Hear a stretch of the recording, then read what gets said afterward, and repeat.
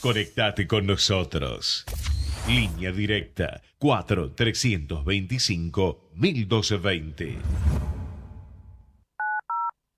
Auspician este programa.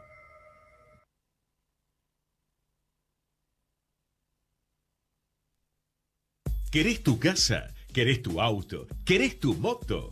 Forma parte de la Asociación Mutual Patrones de Cabotaje. Asociate para recibir estos y muchos beneficios más. En Facebook, buscanos como Mutual Patrones de Cabotaje. Llámanos al 4342 9176 o en nuestras sedes sociales. De lunes a viernes y vas a recibir la atención que mereces para concretar tu sueño. Mutual Patrones de Cabotaje. Matrícula 2902, Capital Federal, INAIS. Sede en Moreno 939, primer piso, Capital Federal. Domicilio legal, Bolívar 430, quinto piso. Auspicia Realidad 2018. Los Inmortales. Una leyenda del sabor en Buenos Aires.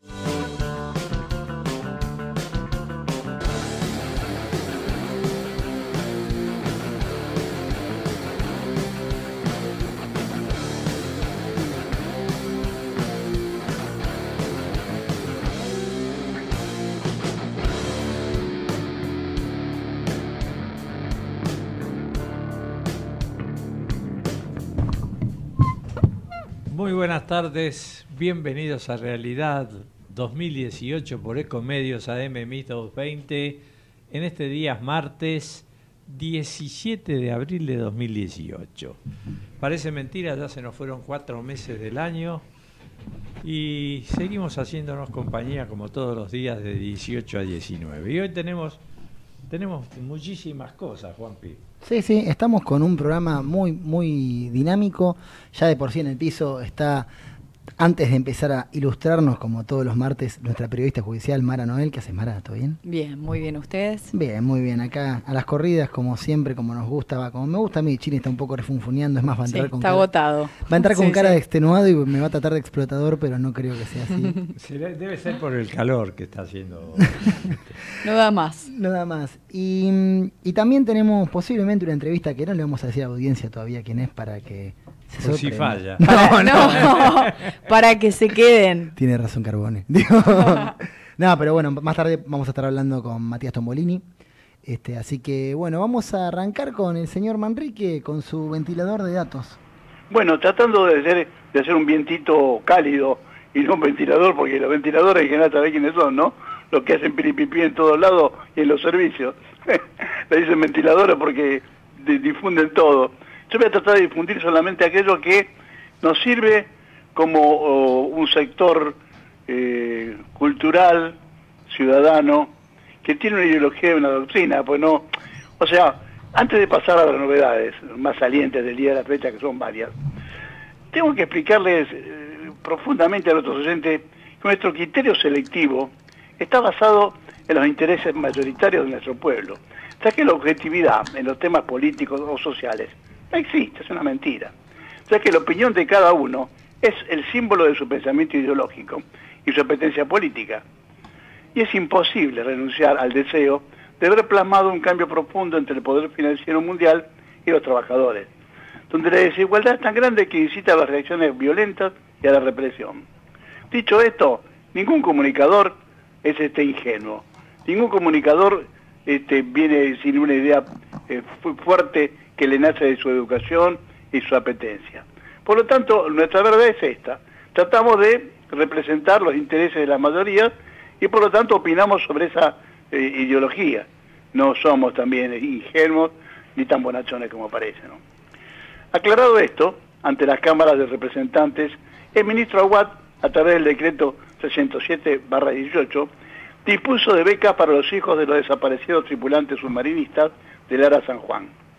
Consiste en una asignación mensual de hasta 9.500 pesos de mes y extensivo para los hijos de los marinos desde los 3 años a los 25 años, en todos los estados educativos, primario, secundario y terciario, siempre y cuando en cada año revaliden que siguen estudiando. Se basa este decreto en que los mártires marinos eran en su mayoría único sostén familiar.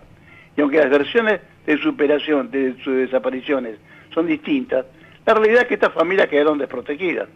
Y el deber de sus jefes y de la Armada es cuidar a sus hombres caídos. Esta es una novedad que ya, digamos, ya está, ha sido publicada esta mañana y yo he recogido para aquellos que no han llegado a escucharla.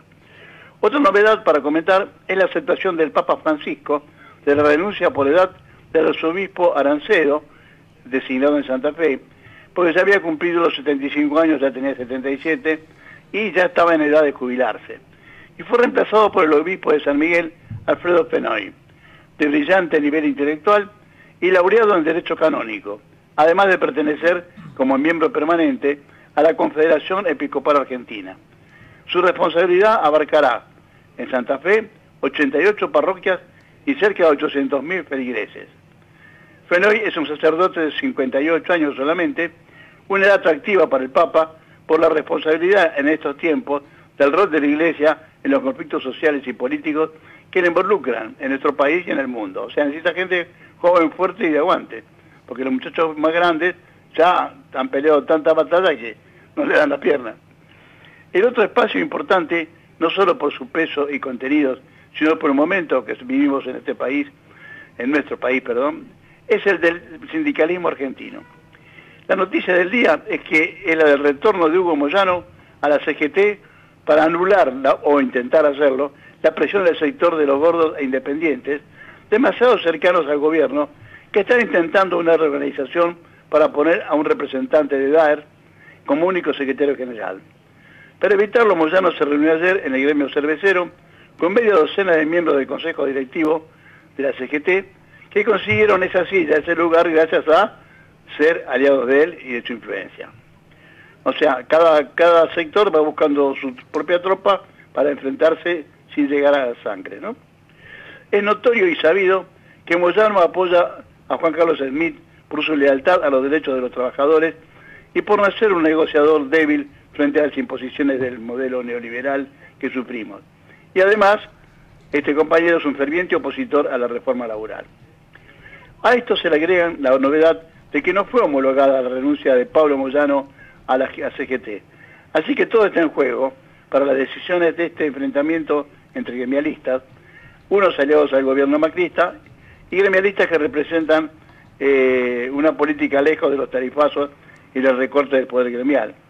En función de la estrategia del especialismo, los, este, los gordos, digamos, intentan debilitar a los gremios que defienden el salario de los trabajadores, ya que el deseo más profundo del macrismo es que la crisis económica la paguen los trabajadores, mientras ellos especulan con un monetarismo favorable a la especulación financiera y no crear fuentes de trabajo como debería hacerlo cualquier gobierno inteligente. Eh, aliado a la estrategia de Moyano, Smith, eh, sí, es digamos un guion Smith para, para que vean que están trabajando juntos, está el dirigente Plaini de Canillita, y que también apoya la recuperación de las 62 organizaciones obreras peronistas, de los gremios que el finado Momo Venegas hizo adherir al gobierno macrista. Hoy se reunieron en la, en la Asociación Obrera Textil para deliberar en función de la recuperación de las 62 y su sentido histórico político verdadero. Mañana comentaremos la resolución, si la hubo, de esta puja. Finalmente, la noticia de la reacción popular y masiva de los ciudadanos frente a los tarifazos y la política económica en general, se anuncia para el miércoles 20 un ruidazo a nivel nacional de protesta contra el aumento de la luz, el gas, las medicinas, el agua, los peajes y el transporte. Bueno, estaremos muy atentos al día a día para tenernos informados de la puja entre los ciudadanos que luchan por la justicia social y aquellos que ya se pasaron a la trinchera de nuestros enemigos. Digo enemigos porque cuando eh, el que tiene poder no tiene sensibilidad, no, hay que hacer una advertencia, hay que convertirlo en enemigo, porque no les interesa el destino de la mayoría, sino la ambición personal propia. A partir de ahí, lo que atentan contra la seguridad, la vida y el futuro de los, de los trabajadores y de los jóvenes universitarios que están estudiando, son enemigos. No, hablemos con, eh, superficialmente. Cuando uno digamos, no, puede pelear contra otro porque dice, no, yo no soy su enemigo, bueno, acá se está equivocando los que luchan contra el destino de un país son enemigos, sean de afuera o de adentro. Digamos esto para corroborar el, objetivo de este, de este tema, que es entender por qué uno comunica de determinada manera y con qué ideología portante lo hace. Hasta acá el comentario de hoy. Bueno, y hay unos temas para que ustedes, si tienen tiempo y ganas, los comenten. Bueno, Manrique, sí, hoy, eh, digamos, el sindicalismo se está reorganizando alrededor de la figura de varios líderes que quieren volver a tener peso internamente. Veremos qué es lo que deparan los próximos, los próximos días y estaremos atentos a ver que mañana vos nos cuentes qué información podés sacar de estas reuniones que se están dando, que claramente eh, son, digamos, el caldo de cultivo previo a lo que se va a venir en mayo con la elección de las autoridades de la CGT, a lo que se va a venir también con las, a la elección de las autoridades del Partido Justicialista, y creo que todo eso es una gran sopa en la cual el peronismo va a tratar de alimentar a gran parte de sus objetivos. Yo lo veo difícil, pero es importante que abril empiecen a trabajar pensando no solamente en 2019, sino pensando en lo que viene. Bueno, te agradecemos mucho tu participación como siempre y seguimos mañana. ¿Cómo no? Un abrazo. Un abrazo. Bueno, y ahí se iba Manrique con su cruel forma de, de, de- de- de llegarnos a la realidad, ¿no? Con, eh, no, contando la realidad, no sé si cruel. pero- La realidad es La malicia. por sí sola. Es no hace dura. falta que uno le ponga Claro. condimento. Totalmente. La única verdad. Es realidad al fin y al 2018. cabo. sí, señor. Si el operador así lo dispone, le damos entrada a nuestra periodista judicial.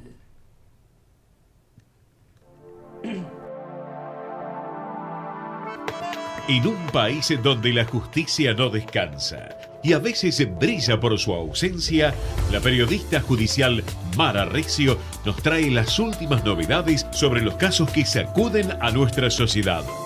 Escuchala a continuación en Realidad 2018.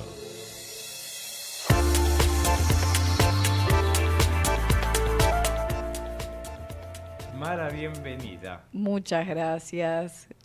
A- a- ya que hablábamos de la realidad dura, vamos a meternos en los temas judiciales.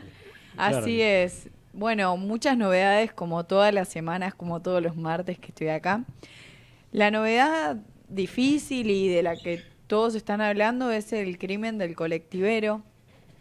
Leandro Miguel Alcaraz eh, era un chico de 26 años que lo mataron de dos balazos el domingo, este domingo pasado.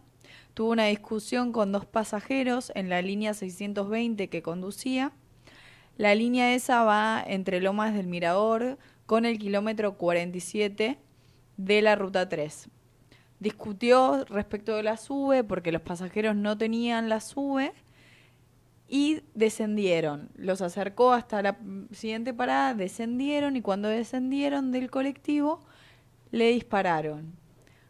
Una bala eh, recayó en el cráneo del colectivero, la otra en el tórax y ya cuando uno de los pasajeros del colectivo lo llevó al hospital más cercano, que era uno en, Goza- en González Catán, se llama Evita el, el hospital, ya estaba muerto. Además se animó a manejar el colectivo. Sí, el la verdad que sí, Yo sí. no me animaría. Terrible Sí. el video. Terrible el video, Terrible sí. Sí, morbo. Y también es terrible, bueno, hoy eh, mostraban todo lo que sucedió cuando lo enterraban, cuando lo llevaban al cementerio. La verdad que fue una gran movilización no solo de la línea 620, sino del resto de sus compañeros y el resto de las líneas. Estuvo bien porque la gente ayer no. Yo no la vi a la gente por la calle insultando porque había paro de colectivo. No. Yo creo que la gente ayer se solidarizó. Sí, tal ¿Viste cuando cual. está bien? La diferencia es cuando está bien comunicado o tiene un fundamento que la sociedad dice, che, estoy con ustedes y cuando no, ¿viste? No, Sí. pero está tre- tremendo. Recién veíamos, eh, acá TN estaba mostrando un informe que hicieron el año pasado, Sí, más o hace menos un año, cerca de justo. esta fecha. Justamente choferes reclamando más seguridad Sí. y Ritondo también estuvo ayer, ¿no? Es que sí, hay, muchos casos ya, claro, es exacto. Todos los Claro. años pasa algún caso que estremece respecto de eh, muertes de colectiveros cuando manejan en su horario laboral, ni siquiera cuando están Y en, eh, a la noche, digamos, fuera. están más expuestos. Sí, claramente. Esto sucedió alrededor de las 18 horas. Nada, nada. Ah, Ni sí. siquiera a la No, noche pasó. A la noche es tierra de nadie la provincia. Sí, de la verdad que sí. Es complicado. Es complicado y en Capital también, ¿no? Es, no hay tanta seguridad como para decir, bueno, me tomo un colectivo cualquier Pero hora. en Capital, mal que Hay más mal, reparo. Hay mucha, bueno, no sé, estos últimos dos años que camina a la calle se da cuenta que hay patrulleros y hay policías Sí. en cada dos esquinas. Que la verdad que, qué sé yo, por lo menos. eh, Sí, da más, por lo menos a mí me pasa que me da más seguridad el colectivo Es- que un taxi. Ah, bueno, ese es un dato. De Ese color. es un punto Mira, sí, sí. Distintivo, me parece. O un Uber o lo que sea que Y bueno, no- no implica estamos estar matando a con, los taxistas acá, con no. solamente implica No, estar no. solamente con una persona. Lo que pasó en este caso puntual es que bueno, hoy lo enterraron a Alcaraz eh, y hay dos detenidos de 18 y 17 años fueron indagados hoy y están buscando testigos. ¿Por qué? ¿Qué pasa? Habían varios testigos, los pasajeros de este colectivo. El problema es que declararon ayer y lo que dijeron es que vieron cuando discutía el Alcaraz con estos los dos delincuentes, pero sin embargo no vieron el momento en que era asesinado. Ese es un punto que lo que explica la Fiscalía, que la lleva adelante la Unidad Funcional de Instrucción Temática de Homicidios del Departamento de La Matanza, es que la gente tiene miedo, porque la gente vive Totalmente. por esa zona. Tiene que y tomarse esa línea todos los días. Exactamente, y tiene miedo de ir a testificar, reconocer, porque después Porque pueden lo hacerles un lo careo. reconocés, lo ves. ¿Te Tal acordás? Siempre que hay una situación traumática, uno se queda con las imágenes Sí, en tiempo hablar. lento de todo lo que pasó alrededor. No, eso es otra, es otra falencia del Estado, que no, no brinde la seguridad ni... Unas cámaras en el colectivo. No, no, pero que no brinde la seguridad A los tampoco a los que van a testigos habla declarar. él, sí. Digamos que... Los- o sea, de la fiscalía hablaron diciendo, bueno, van a estar resguardados, obviamente. Pero bueno. Y te la mandan realidad- un patrullero fuera de tu casa y ya directamente te prenden fuego de que vos fuiste a declarar. Che, Claro. es él, ¿eh? Es él, ¿eh? o es ella, ¿no? No te Sí, ni la verdad que no es tan fácil, me parece, arriesgarse y ir a declarar como si nada. Es lógico el miedo, pero por el otro lado hay que esclarecer este hecho y finalmente que se resuelva de la mejor manera y, y llegando a la verdad, ¿no? Vos que tuviste un pasado judicial, ¿no, Mara? Un pasado judicial, Un sí. pasado judicial, no, no. presente, sí. No, no, no, pero yo me refiero a un pasado Sí. dentro. Del lado de afuera. Del, lado- del de- otro no lado. del lado informativo, sino del, del lado de adentro de la mesa, Claro. sí. ¿Te pasaba que la gente te, eh, iba a declarar y capaz que retir- retiraba la, la declaración? No, en el juzgado en el donde estaba no, no pasaba porque la mayoría no tenían que ir a declarar ni, ni había mucha prueba testimonial porque era ya todo de seguridad social y, y otros procedimientos, también con la FIP, boletas de deuda. Claro, era otro tipo de- sí, de- de- de y causas las que reajustes, entonces la verdad por suerte no nunca pasé por esa situación. Pero debe ser re- contra picante el hecho de decir, bueno, voy a declarar, pero es como decías vos, Mara, o sea, me tomo el bondi y voy a declarar, pero el tipo que mandé a Troden, un saludo para Lautaro, eh, el tipo que mandé a Troden este, Me está ahí. esperando. Me está esperando, Ah, ¿sabes qué sí, lindo?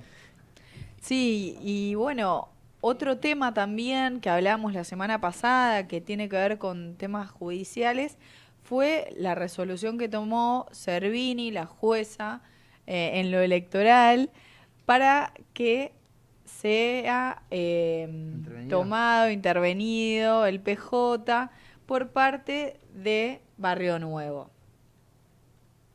Pare- se- me quedó algo haciendo ruido de Sí. Servini, seguramente lo explicaste el martes pasado que yo estuve ausente. De cubría ya no es más. No, ya... Hace años no, que no es sí. Ah, ¿y por qué? Pero hasta hace muy poco tiempo se sigue diciendo. No, no, Bueno, en Clarín lo siguen se diciendo. siguen Claro. Claro. Se lo siguen diciendo los periodistas. Ellos no, lo- ella no lo utiliza. Sí, apellido tal cual. Sí, también nosotros lo seguimos utilizando. Luego de esta estúpida pregunta puede ser. No, pero en la Se facultad se, hablaba. carne. Uno se acuerda, Mirá. Servini de cubría. Claro. La, La- época de Tato. Exacto, sí. Exacto, ese. Badu, ¿te ese lo caso. lo sí, vimos? lo vimos, lo vimos.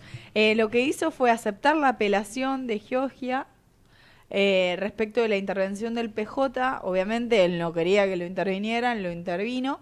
Y lo que pidió eh, es que la apelación tuviese efectos suspensivos. Esto que le iba a permitir Que lo volver.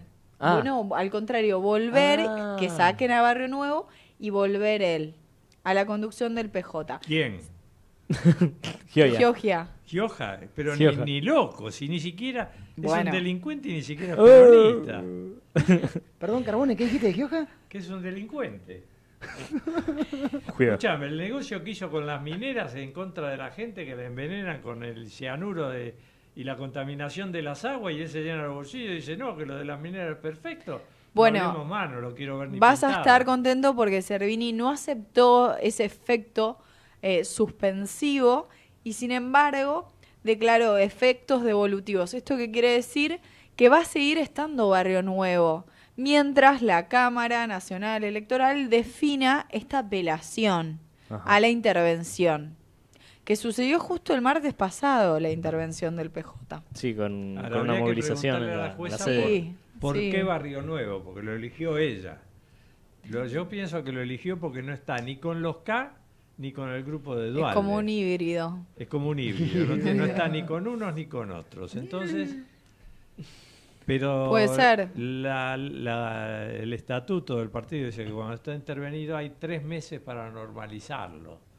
O sea que es un trabajo arduo, porque hay que reempadronar a toda la gente, a todos los afiliados, para sacar las facturas truchas, porque era cuando entraron para hacer la toma con, con la justicia, se encontraron con que había fichas que duplicaban las fichas del partido, que eran afiliaciones de unidad ciudadana con los nombres y las, las Claro, y las direcciones y los documentos de los afiliados del PJ. Votaban He-Man, el hombre lobo, Frankenstein y Drácula. Ah, gorila. Bueno, ese es otro tema, el tema de las votaciones, pero pasa cuando vas a votar también en las listas, ¿no? Ese fraude tan grande que hay. El fracaso. Es que no vas a, a- a elegir a nadie, vas a optar por alguien, porque Claro. te lo dan cocinado entre gallos y medianoche. No es que el afiliado elige a alguien, arman las listas entre ellos Claro. y después Sí. te dicen que vayas a votar. Te hacen una lista única y no va nadie. Pero- como las sí. Pero pa- pa- capaz que Barrio Nuevo te hace algo distinto, Carbone. Y bueno, por ahí al ser No, un híbrido. Que, Es un híbrido. que normalice el partido. Sí, que finalmente que se pueda trabaje votar. estos 30 días y normalice el partido. Sí, la verdad que sí. Otro caso también eh, judicial, donde hubo un procesamiento y un embargo, es a Juan Manuel Ducler. ¿Quién es Juan Manuel Ducler? Uf. Es. Chan, Pará, a ver, el hijo te de- voy a probar. A ver. Es el hijo de Ducler, Sí. el que era funcionario de Néstor cuando estaba Claro, en Santa Cruz. exactamente. Muy bien. Que está acusado de, de, manio- de un super préstamo que recibió Santa Cruz y que de ahí salió guita para IPF y Repsol. Super préstamo. Bueno, ese era el padre que falleció Muy de un raro. paro cardíaco, En sí. medio de la calle. Se suponía, sí, en el microcentro está señalado, estaba señalado como el hombre que manejaba los fondos de la provincia de Santa Cruz. Muy cercano a los Kirchner, sí. Financista. Bueno, el hijo del financista fue filmado en el 2017 cuando chantajeaba a Enrique Eskenazi, junto con dos abogados, con Brugo y Calver Maten. ¿Qué pasó? Fue procesado junto a los dos abogados imputados por el delito de chantaje. Se embargó a cada uno de ellos por 550 mil pesos. El mes pasado. Un vuelto. Nada, le alcanza para una cena. a él. Puede ser, no lo sé, habría que preguntarles.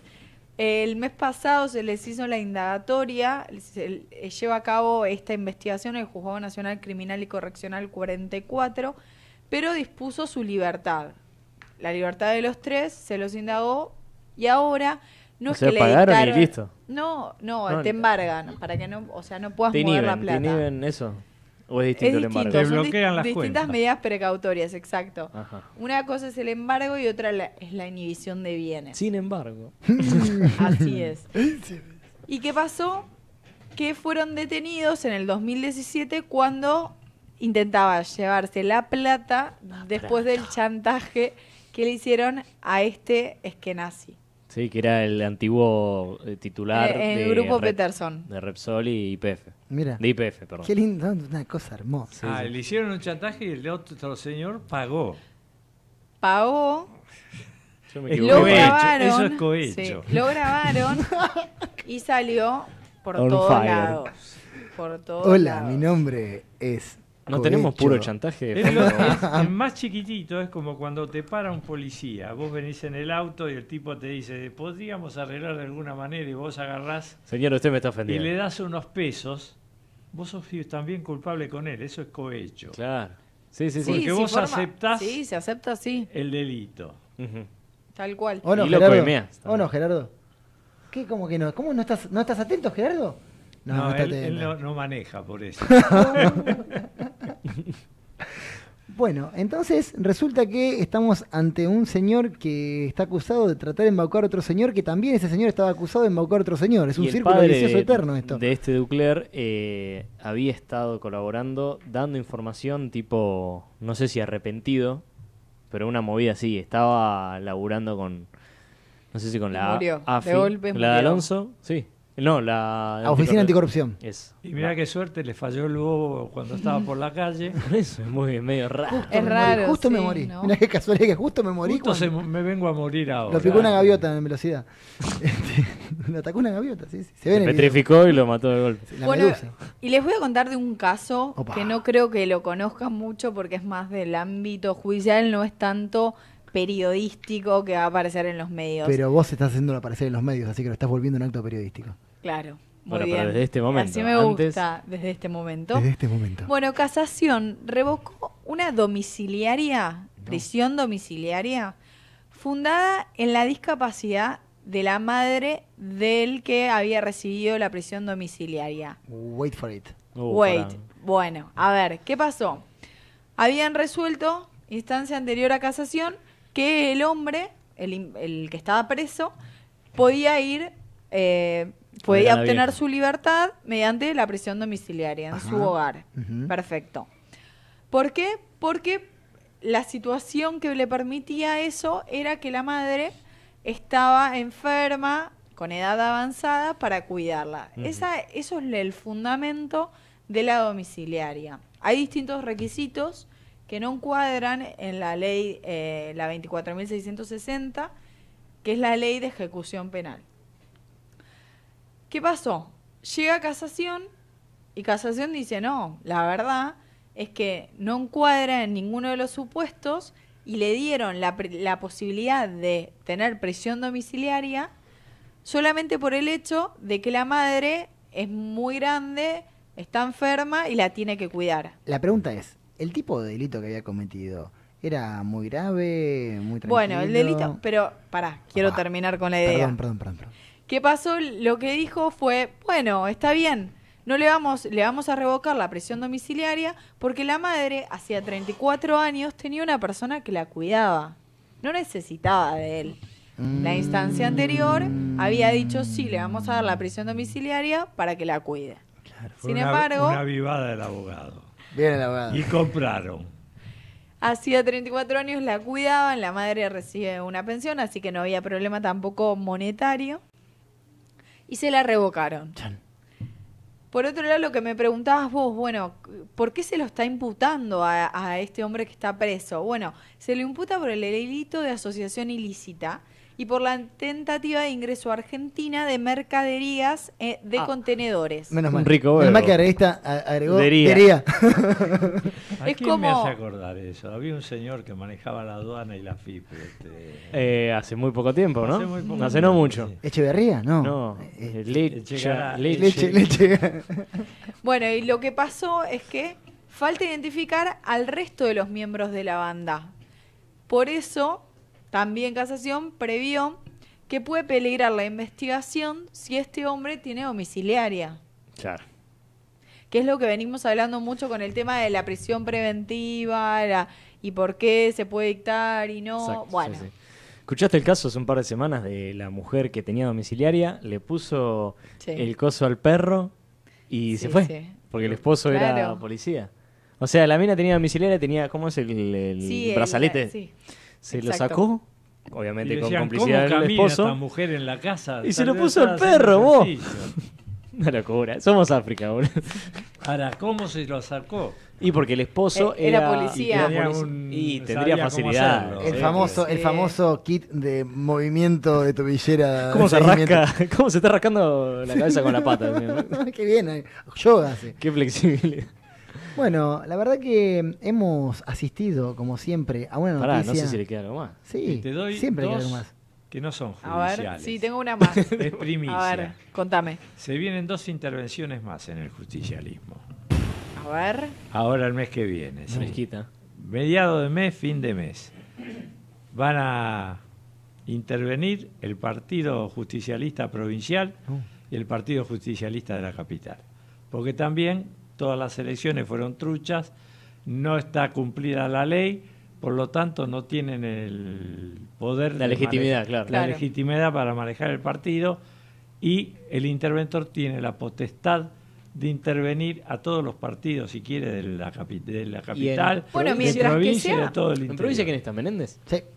¿Y acá? Mientras, mientras que sea para regularizar, no está mal. El de porteros. No, por supuesto. Eh, Al contrario, Santamaría. ojalá que se pueda resolver y que sea todo más transparente. ¿Pero Servini puede dar esa misma decisión? ¿O No, tiene no, que no, ser un juez? Directamente el interventor. Porque Barrio el Nuevo, interventor Barrio nombrado Nuevo. Y el Mister- mismo Claro, interventor New Neighborhood. interviene los partidos que dependen de él, porque él es el, el interventor en el partido ni- a nivel nacional. Claro. Todos los demás dependen de él. Lo puede hacer en todas las provincias. En todas las provincias lo puede hacer.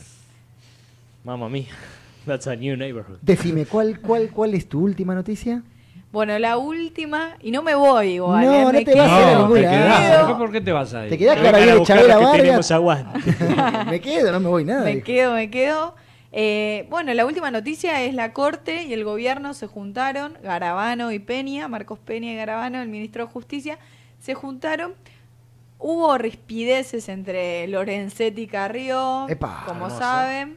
Ah, se, se viene peleando hace rato. Sí. Bueno, pero últimamente en esta semana fue por el tema del traspaso de la justicia. Eh, fuera ordinario a federales, en realidad no es la justicia, los jueces. Y por otro lado también el tema de las escuchas. La oficina de escuchas eh, judiciales estaba en un principio a cargo de inteligencia. Después pasó est- a estar en manos de, ya se los voy a decir, la procuración hasta que en el 2015, con la asunción de Macri, Macri decide, el gobierno nuevo decide que pase a la órbita del Poder Judicial. Que No me parece que esté mal, porque la verdad las escuchas son para causas judiciales. Era lógico que lo tuviera esa potestad y ese control el Poder Judicial. Sí, porque si no lo manejan los servicios. Bueno, eso, por y eso se entrecruza la información y por eso tantas escuchas, las últimas de Cristina que salieron. Que son un show, la verdad. Porque no aportan nada de Sí, información. a ver, a ver, no, Son la alguna escucha que que otra puteada No nueva. importa. Parrilli, Parrilli, Es la como, concha. los, Parrilli, la es concha. como los programas de chimentos de la televisión, que Claro. te cuentan quién sale con quién, con quién rompió, con qué. Es más o menos lo Para mismo, mí, pero político. Que Cristina en esas escuchas sabía que estaba Sí, haciendo oída, sí, entonces le dice. lo llama- ¿Qué boludez? Le dice a Parrilli. Yo imagino a Parrilli sentado en la casa tomando un té con limón y de repente llama, escúchame, Cristina, pelotudo. Es, es la Cristina que ustedes no conocen, la verdadera Cristina de entre casa. Es muy mal hablada, Cristina. Apa. Bueno, sí, estamos ¿Vos la conocés? no le podemos preguntar porque está muerto, al, al marido, las cosas que le decía. Bueno, vamos a quedarnos con la duda. Carbone con. Locotó vino, y vino con Locotó, Carbone, te lo tira en los ojos. ¡ah! afilado. Bueno, el gobierno y la corte al final pudieron acordar que seguirán bajo la órbita de la justicia, la oficina de escuchas judiciales, pero por, el- por otra parte hay un proyecto de ley que lleva a cabo Pichetto y Ortubey para que las escuchas eh, sean sigan en realidad bajo la órbita del Poder Judicial y sean custodiadas. ¿Qué pasa? Por. Si, es, si esa custodia, la confidencialidad se viola, en el caso de violarse la confidencialidad, se impondría una pena de seis meses a dos años de prisión para la persona Ah, está buena esa, ¿eh? Sí. Ahora- que responda a esa confidencialidad. Y respecto del secreto también, si se viola el secreto sobre esas escuchas, la pena sería de dos a cuatro años de prisión. O sea, hay A que... la inviolabilidad de la justicia. Yo me empicho, me pongo traje, corbata, cosa que no hago nunca.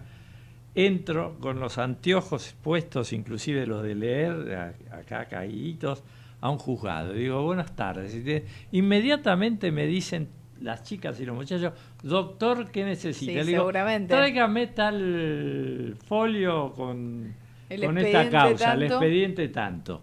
Me lo traen. Yo me siento en un rincón a leer y ellos siguen atendiendo gente. Lo guardo dentro del portafolio, me voy, me llevo el Lo expediente. escaneas y ya en un segundo. Nadie sí. se entera. Que no, no lo escaño, me lo llevo directamente. No, pero tenés, Bueno, que, estar, tenés que ahí- estar habilitado en el expediente para poder Ahí verlo. sí te piden. No, Sí, Sí, a ver, sí.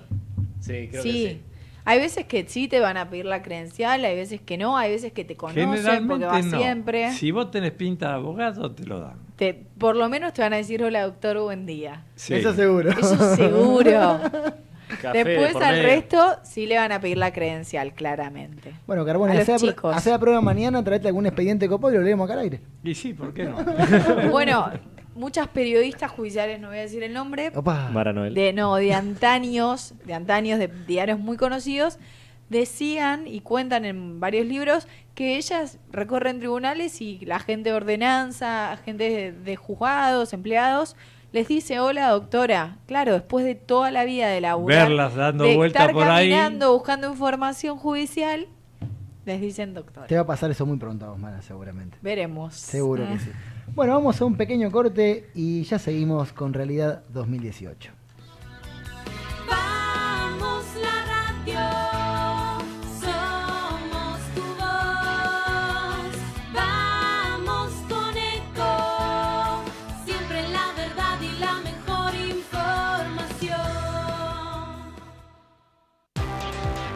Ay, pero qué tarde que se me hizo. Me tengo que apurar porque si no, no llego, no llego, no llego. No. ¿Pero seguro? ¿Qué problema? Eh, bueno, vamos a encontrar una solución. Bancame ahí que en dos minutos estoy con vos. Bueno, vos ahora te tenés que ir. Sí, pero yo quiero hablar de esto ahora. Cuando llegue a casa te llamo. Te- Tres de cada diez muertos en el tránsito son peatones. Cruzá siempre por la senda peatonal o esquina, respetando los semáforos. Allí, todos los vehículos deben darte prioridad. Luchemos por la vida. Podés vernos en vivo en ecohd.com.ar.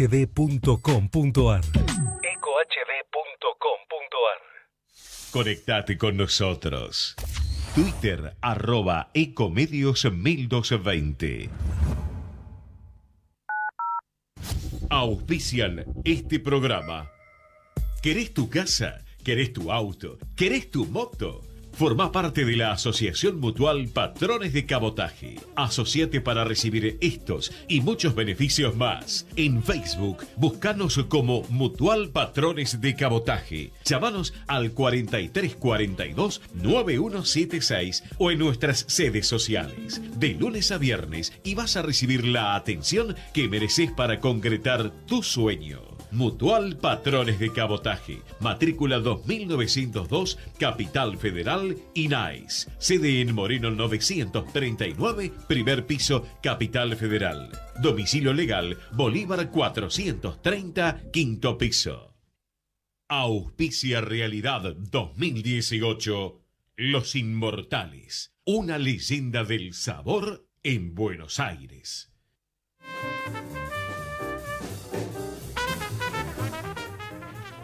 El Banco Central advirtió que subirá las tasas si la inflación no baja a partir de mayo. Stussenegger dijo que confía que el respiro del, mes próximo llegará sin las alzas de tarifas como se mostró preparado. Dijo que va a endurecer en su política si no se cumple el pronóstico. Eh, levantar la, le- le- la- las tasas y dar más interés no ayuda en nada a parar la inflación. Son medidas que ya la hicieron de caballo en adelante todos los ministros de Economía que han pasado en estos 34 años de democracia fraudulenta. Y pero eso Por lo tanto, no, no le están encontrando nos demuestra que el grupo económico que nos gobierna no se le cae una idea. Y si se le cae, no se agachan a levantarla. Ese es el problema. Y, es- y son viejas también. ¿no? Y son viejas además las ideas. Y otra novedad es que Cuba se prepara para el cambio de mando. Sí. Raúl Castro ha decidido retirarse y ¿Será? están, están viendo quién va a ser el sucesor. Por ahora no está claro. Pero los Castro terminan su ciclo en la querida isla de Cuba. ¿Terminarán realmente? ¿Habrá fraude? ¿Habrá opciones? No hay opciones. No hay ¿Cuántas opciones en? Cuba, O sea, es no, un la candidato que no, hereditario. sí. Va a poner- van a poner a No uno hay- o a otro. sí. Hay dos o tres Sí. candidatos y Raúl dirá es, Ma- es eh, Diego, es Está Pablo, el- es Mauricio. Sí, sí, no hay Eh, oposición, no existe nada. No hay oposición, No hay no hay libertad nada. de prensa, no hay nada. Por lo Gracias. tanto, hay un cambio que no hay cambio. Exactamente. Ese gato pardismo Desgraciadamente, porque Gato tiene, pardismo. Tiene mucho ese país. Gente muy preparada que no tiene trabajo para explotar todos esos No, conocimientos. vos encontrás en la playa Sí. chicos que yo les he alquilado reposera y le- me Sí. dicen, uno me hacía, me tomaba el pedido y el otro me hacía el, la- el Trago, recibo, ¿no? ah. Y digo, ah, vos sos el que sabe leer y él es el que sabe escribir. Me dice, no, yo soy ingeniero. Sí, todos son ingenieros. arquitecto". Sí, pero todos, todos, Están todos, trabajando, sí. alquilando reposeras Sí. en la playa porque no tienen O manejando trabajo. el, el taxi, el coco taxi también, y todos son ingenieros. Sí, el que no es ingeniero Sí. tiene un título... eh, Posgrado, Posgrado, pero no afuera, tienen su- trabajo. gente súper preparada. Bueno, vamos a meternos en la efeméride del día de hoy. Los Inmortales se presenta Historias de ayer y de hoy. Los Inmortales, el sabor de Buenos Aires en todas sus sucursales. La base 746, Avenida Corrientes 1369, Paraná 1209, Mendoza 2330 y en Nordelta, Paseo de la Bahía, Bahía Grande.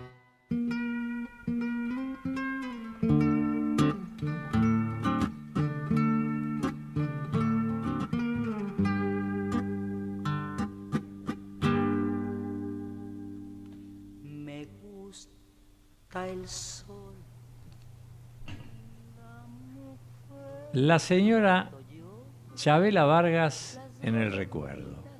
Tal vez una de las grandes mujeres de la canción mexicana, pese a que no había nacido en México.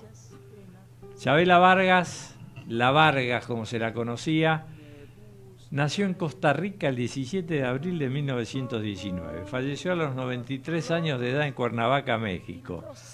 Es una de las principales figuras del género de la ranchera y pionera entre las intérpretes femeninas, considerada polémica y rebelde porque le gustaba vestirse de charro, usar atuendo de hombre, fumar puros y beber tequila. Su primer álbum vio la luz en 1961 y desde entonces publicó más de 80 discos. En 1993 participó de la película Kika, dirigida por Pedro Almodóvar. De hecho, Chabela Vargas ha tenido una relación intensa con el cine, ya que participó en Frida de Julie Taymor y en Babel de Alejandro González Iña- Iñárritu. Y con un bolero de Fran Domínguez participó en esa película. También lo hizo en películas de Almodóvar como La flor de mi secreto y Carne trémula. Vargas fue pionera de la canción ranchera con su personalidad y su talento, ya que el género de la ranchera mexicana es netamente masculino y sensual, y cantado mayoritariamente por barítonos y tenores mexicanos, sobre todo por el deseo implícito que hay en el canto a las mujeres. El 12 de julio de 2012, Chabela fue hospitalizada en Madrid por un cuadro de fatiga. A sus 93 años, y a pesar de estar en silla de ruedas, Chabela Vargas cruzó el charco y viajó a España para dar un recital con temas del disco que dedicó a García Lorca, que se tituló La Luna Grande, y presentar sus memorias. Su libro Dos vidas necesito, las verdades de Chabela. Chabela Vargas, sin ninguna duda, un inmortal por derecho propio. identidad. No soy de aquí. Ni soy Presentó Los Inmortales, leyenda del sabor en Buenos Aires. No soy de aquí ni soy de allá, Carbone. ¿De dónde somos? Eh, ¿Del polvo venimos? Polvo- Depende, hay que preguntárselo a Facundo Cabral, que es el autor de la canción y que se le grabaron tantos y a lo mejor ni siquiera sabe por qué la escribió. ¿viste? Sucede como lo que contábamos ayer de la Pomenia, que hay una historia detrás de la canción y no la sabés. Facundo era como un ave migratoria, ha vivido en tantos países, no tenía casa propia. ¿Por qué? Qué loco. Porque lo que nadie dice es que su mujer y su hija murieron en un accidente aéreo. Qué horrible. Y de ahí en más, él cerró todo y se dedicó a vivir en hoteles. Claro, no tenía ningún arraigo. No tenía arraigo, no quería tenerlo. tampoco. Bueno, hablando de, de- de cosas un poco más interesantes a nivel emocional, no a nivel musical, porque sabemos que las efemérides de Carbone a nivel musical la rompen toda, estamos en comunicación con una persona que, la verdad, a mí personalmente yo lo sigo en redes sociales porque me, me causa mucha diversión cómo cuenta las historias de la ciudad. Y estamos hablando del señor Matías Tombolini, que actualmente es este, una de las personas que está a cargo del Consejo Económico y Social de la Ciudad de Buenos Aires y además él fue candidato a diputado nacional por la Ciudad de Buenos Aires y es un economista que explica las cosas de una manera bastante apta para todo público. ¿Cómo andas, Matías? ¿Todo bien? Hola, ¿qué tal? ¿Cómo están? Buenas tardes. Muy buenas tardes. Matías, te vemos mucho en las redes sociales, mucho en Instagram, todos los días recorriendo algo. El otro día, por ejemplo, me acuerdo que estuviste ahí con los odontólogos de la, de la UBA, pasando precios, dando información. ¿Cómo es esto de que estás por todos lados todos los días? ¿Qué estás haciendo? Bueno, mira, la, la verdad que básicamente lo que estoy haciendo es honrando el sueldo que me pagan eh, por ser un servidor público, porque el Consejo Económico y Social fundamentalmente es una gran incubadora de ideas de la sociedad civil que lo que hace es eh, o bien presenta iniciativas parlamentarias, porque dado el rango constitucional tiene la posibilidad de presentar proyectos de ley, o presenta propuestas de política pública del Poder Ejecutivo. Para poder hacer eso hay dos o tres elementos fundamentales. El primero es interactuar con los distintos consejeros que están en este consejo, están ad honorem y que representan a 26 organizaciones de la sociedad civil muy importantes, como puede ser la CGT, como puede ser este, los eh, colegios profesionales de abogados, consejos profesionales de ciencias económicas, la UBA sociales, la UBA económica, es decir, este, AMIA, am, eh, la pastoral social, el centro islámico, en fin, eh, distintos actores de la vida política, empresaria, social, cultural y económica de la ciudad. Ahora bien, los temas que se discuten para poder emitir recomendaciones, por ejemplo, un proyecto de ley para que los cajeros mm, te pregunten eh, si vos querés o no querés el papelito con el saldo del cajero. Y qué tontería. Bueno, si supieras la cantidad de papel que hay detrás de cada operación en un cajero, dirías, ahora que si me lo mandan por mail, a mí no me cambia nada y eh, generamos menos menos eh, residuo. Eh, aumentar el corte de biodiesel en el transporte urbano de pasajeros, otra iniciativa que se está estudiando, la discusión del nuevo código de habilitaciones, y todo eso tiene que ver con cosas que nos pasan a los vecinos cotidianamente. Y a partir de ahí, lo que sencillamente estamos haciendo tiene que ver con acercarnos y caminar la realidad. Porque en vez de estudiarla a través de un paper o por lo que me cuentan, yo prefiero tratar de transitar lo que sucede en, en la vida cotidiana para poder generar propuestas que nos representen a quienes vivimos en esta ciudad. Ahora, lo de los papelitos, ya lo, te lo robaron los de los supermercados grandes. Porque ya no te hacen firmar más cuando pagás con tarjeta Sí. si no gastás más de 500 pesos. Exacto, sí. Entonces ya están Claro. ahorrando un papelito.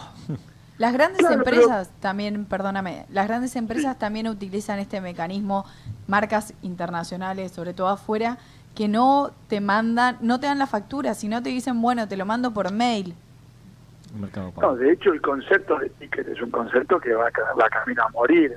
O sea que si vos miras la cantidad de papel que se usa, son toneladas y toneladas Sí. de papel que se usa y se descarta. Entonces, digamos, te, te pongo esto como un ejemplo, después podemos hablar de lo- la problemática de los clubes de barrio respecto de la imposibilidad de cobrar este, el reintegro sobre las boletas de la luz, porque el gran problema económico que tienen los sectores medios, sean rentables o no, sean empresas u organizaciones sin fines de lucro como los clubes de barrio, tiene que ver con que el impacto de las tarifas deteriora la capacidad de prestación de servicios de todas estas este, organizaciones que te menciono. Y en ese sentido, o te vas al club este, Sabores, al club Alvear, al club Villaluro, todos los clubes que estoy recorriendo, y dialogás con las autoridades y te pones a ver la- el, servicio que prestan en términos de, la- de lo importante que son para cada uno de esos barrios y escuchar sus problemas, o te enteras por internet y la verdad que no es lo mismo. Bueno, esto se hace mucho mejor caminando que, que enterándose de otro modo. Sí, el cara a cara es lo mejor, por supuesto, siempre. Ahora, ¿qué hacemos con los viejitos jubilados que no saben manejar una computadora y le decimos que no reciben más para la factura para ir a pagar los servicios y no saben cómo sacarla de la computadora? Bueno, ahí hay dos cuestiones. Primero, la factura que no reciben es siempre de carácter opcional. Aquellos que quieren recibir la factura en papel deberían poder hacerlo. Si no, evidentemente ahí tenemos un problema serio. Sobre todo las personas mayores que no saben cómo bajarla de la computadora, ¿no es cierto? Sí, las facturas y los resúmenes de tarjeta de crédito. Sí. Hay mucha gente que no lo sabe leer, no sabe... Entonces, si a mí me dan la opción, prefiero recibirlo por mail para no recibir un montón de sobre todo de todos los días. Ahora, una persona que no tiene la, la- la posibilidad de hacerlo porque le cuesta, tiene que tener la opción, por eso siempre es algo de carácter opcional. Porque la normativa tiene que estar del lado de los usuarios y los consumidores, y no del otro lado. Entonces, tiene que favorecer la opción del usuario teniendo una alternativa que sea ecológicamente sustentable. No se puede construir normativa que sea que esté pensada para que le cierren los números a las empresas. Yo creo que pensarlo al revés. Bueno, eso tiene que ver también con una mirada, si querés, que tiene que hace sentido en algo mucho más importante. Vos, si mirás cómo se dio, por ejemplo, proceso de recomposición tarifaria en la Argentina, te das cuenta que justamente en vez de ver cómo se recomponían las tarifas, que había que hacerlo, pensando en cómo pagaba la boleta a la gente, lo terminaron haciendo pensando en cómo le cerraban los números a las empresas. Entonces vos tenés, este, por poner dos o tres datos, en lo que va del gobierno actual, la luz aumentó 1036,7%. Una locura. Y los, los salarios aumentaron 80%. Había que aumentarlo, sí, había que aumentarlo 12 veces más que los salarios. Claro, no así. Eh, Matías, Bueno. te- ah, no, sí, continúa.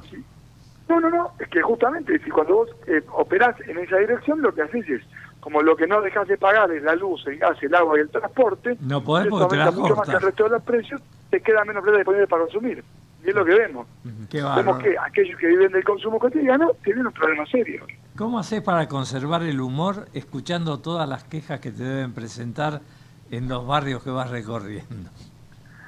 Ah, bueno, pero el humor es un elemento que nos que nos une, que es un, un, un- un sesgo, si querés, cultural que tenemos los argentinos. En general, los argentinos somos este, un pueblo con, con- con muy buen humor y yo creo que humor también es una herramienta para procesar este, los diferentes momentos, los malos, los buenos. Eh, y en ese sentido, eh, también la construcción de los lazos humanos, eh, para mí, dista bastante de lo que domina hoy la, la comunicación, que son los algoritmos que nos conectan a través de los me gusta. Y cuando vos entras en contacto, en contacto físico con lo que le pasa a los demás, este, sonreír te permite conocer y, y- y entender mucho mejor lo que le pasa a los otros que si estás con, con, con cara enojado y, y si, y si estás todo el tiempo compungido. Digo. Eh, no, no tiene por qué desaparecer la posibilidad de vincularnos a través del humor, más allá de que haya situaciones que sean complicadas. Bien, Matías, eh, Mauricio te habla. Eh, uno de los va, el problema central, se podría decir, eh, del gobierno sigue siendo la inflación. Y Sturzenegger dijo que suben las tasas si, si no baja la inflación. ¿Cómo ves esto? Y bueno, ¿y cómo, cómo pensás, si no, que sería otro de los mecanismos para, por lo menos, que descienda o que deje de acelerar tan rápido? Mira, el gobierno tiene acá un déficit evidente respecto de lo que prometió, porque si vos mirás la inflación acumulada que Macri tuvo hasta acá, está en 85,2%, 5 puntos más que lo que aumentaron la mediana de los salarios, para poner un ejemplo. Y claro, este, la pregunta para mí es cómo entramos en un proceso de descenso de la tasa de inflación, que eso bueno, se dio parcialmente sin mentirle a la gente, sin prometer que va a ser 15, que va a ser 12, y decir, miren, la inflación Si ustedes quieren shock, la bajamos en dos años. Si ustedes quieren no, no perder poder de compra de los salarios, vamos a tardar nueve. Entonces, no, pero es una decisión de carácter colectivo. Lo que pasa es que la inflación es un problema del que deberíamos hablar, sobre todo por el impacto que tiene en el deterioro, en el deterioro del consumo. En ese contexto, y yo no estoy justificando que la inflación sea buena, yo creo que es un es un es el impuesto que más castiga a los pobres, digamos, pero eh, lo cierto es que los mecanismos para atacar la inflación que el gobierno ha utilizado hasta acá, bueno, han generado muchos más costos que beneficios.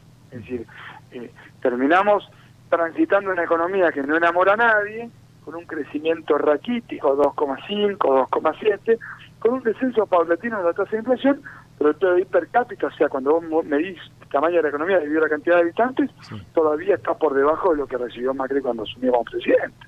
Entonces, la pregunta es, ¿cuál, más que más que cómo combatimos la inflación, es cuál es el proyecto de desarrollo de los sueños? ¿Qué sueño común estamos construyendo? Porque hay elementos que sirven para construir la confianza en nuestra moneda, cuya medida es la inflación, que exceden lo que tiene que ver con una tabla de Excel. Que suponen reconstruir un proyecto que nos invita a soñar este, un país distinto. Vos si viajaste a Estados Unidos, ¿viste que te dan el vuelto de un centavo? Sí. ¿Un dólar? Sí, sí, sí. ¿Pensás que vale algo eso? No vale No. nada. Pero allá ¿Por qué te dan sí vale. centavo? Y te mandan ¿Cómo? a la sí Argentina cuando vale. volvés el reintegro del IVA que pagaste. Bueno, pero decías, eh, allá sí vale. Claro. Lo que vale es la confianza. También. Lo que Pero- vale es creer que el papel que tenés ahí representa un valor determinado que trasciende el paso del tiempo, pero además vale porque todos creen que vale. ¿Por qué en Brasil Claro, vos sí. tenés Como un un- acuerdo. eh, una economía menos dolarizada que la que tenés en la Argentina? Porque Bueno, confían. ahora, la construcción de confianza en nuestra moneda no es un proceso estrictamente técnico, porque tuvimos de todos los colores, tuvimos la derecha, tuvimos la izquierda, los progresistas, los conservadores, tenemos la mayor inflación del mundo, acumulada desde el 43 para acá. Ahora, eh, la inflación cayó cuando la Argentina pudo poner la vista hacia adelante y no hacia atrás y encaminarse tras los proyectos colectivos que los una, que nos una. Ahora, eso hoy no se ve. Lo que se ve es que estamos gobernados por un algoritmo y un conjunto de selfies. Bueno, pues el resultado es, nadie confía en la moneda y cuando tenés un billete de 100 o 500 mangos, te quedan en el bolsillo y te lo sacan encima. Totalmente. Matías, te tenemos que dejar porque nos caemos del programa, Nos caemos del programa. pero vamos a tener que llamarte más seguido porque la verdad, bastante interesante muchos datos que nos has dado y nos quedamos cortos seguramente. Así que bueno, te felicito por la recorrida por los barrios y ya nos contarás qué otras problemáticas te acercan los vecinos. Te mandamos un saludo grande. gracias. Les mando un abrazo grande, que tengan una linda tarde. eh. Vos también. Abrazo. Y nos lo vamos, que pasa, Carbone. Lo que pasa es que nosotros tendríamos que hacer como los norteamericanos. Viste que en el billete de un dólar dice In God we trust. Y nosotros tendríamos que poner en los nuestros que Dios se lo pague. Paga Dios. Nos vamos hasta mañana, volvemos por Ecomedios a partir de las 18 y hasta las 19 con Realidad 2018. Hasta mañana y que Dios los bendiga. Auspiciaron este programa. ¿Querés tu casa? ¿Querés tu auto? ¿Querés tu moto? Forma parte de la Asociación Mutual Patrones de Cabotaje. Asociate para recibir estos y muchos beneficios más. En Facebook, buscanos como Mutual Patrones de Cabotaje. Llámanos al 4342 9176 o en nuestras sedes sociales. De lunes a viernes y vas a recibir la atención que mereces para concretar tu sueño. Mutual Patrones de Cabotaje. Matrícula 2902, Capital Federal, INAIS. Sede en Moreno 939, primer piso, Capital Federal. Domicilio legal, Bolívar 430, quinto piso.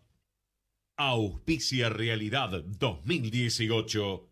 Los Inmortales. Una leyenda del sabor en Buenos Aires.